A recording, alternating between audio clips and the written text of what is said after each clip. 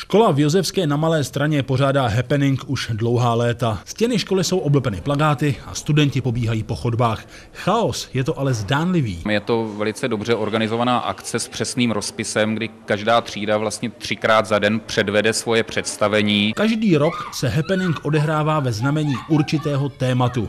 Letos byla volba velmi jednoduchá. Škola slaví výročí, takže vlastně tím tématem bylo oslavy výročí školy. Škola sice stanoví téma, ale dál už studenty nějak neomezuje. My ty výrazové prostředky nějak neovlivňujeme, to právě už si myslíme, že bychom zasahovali nebo možná příliš omezovali ty studentské nápady. Kromě samotné radosti ze zábavy studenti mezi sebou i soutěží o nejlepší vystoupení. Jsou rozděleni do tří kategorií. Základní škola, první stupeň gymnázia a druhý stupeň gymnázia. Ve hře jsou nejrůznější sladkosti a další drobnosti. Mezi studenty už tradičně je oblíbený benefit eh, přednostní chození na oběd po nějakou vymezenou dobu třeba 14 dnů. Dát dohromady celý happening je časově hodně náročná záležitost. Já vlastně s tou třídou připravuju měsíc to vystoupení, ale pak vlastně ale jako koordinuju i vystoupení všech těch ostatních tříd, takže mm, vlastně pro mě je to práce půlroční pokud pominu ty vystoupení mojí třídy. Jednotlivá vystoupení sice hodnotí komise složené z učitelů, ale v posledních dvou letech si vlastní porotu sestavují i sami studenti a udělují vlastní cenu. Karel Rychlý, Televize Praha.